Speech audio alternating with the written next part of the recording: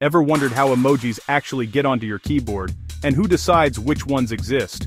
Quick breakdown in under 150 seconds. If you've ever asked, why is there a waffle but no oddly specific thing, there's a real process behind that. Short version. Your keyboard doesn't have emojis, the way it has letters.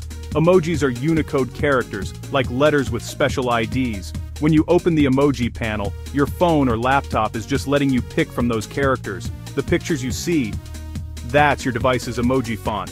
The artwork from Apple, Google, Microsoft, other vendors and designers. Who approves them? The Unicode Consortium.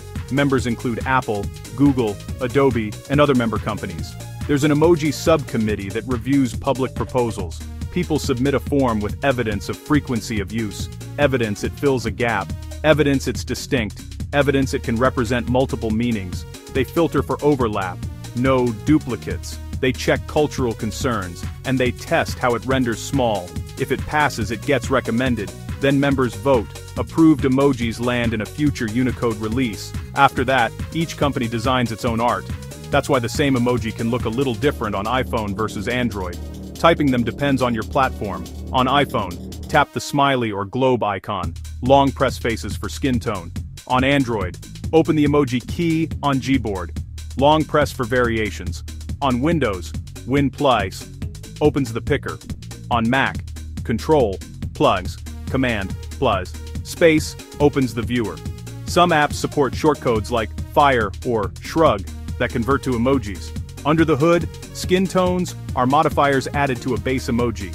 Flags are pairs of regional indicator letters. Combo emojis, like family or professions, use a zero-width joiner to stitch pieces together. Unicode also maintains a list of recommended for general interchange sequences so they render consistently. Why you sometimes see a box or blank. Your device's font hasn't been updated to that Unicode version yet. Update the OS or the app's emoji font, and it appears. Got a dream emoji? Drop it in the comments. I'll link the proposal guide if you want to actually submit one. Follow for more tech explainers you can use every day.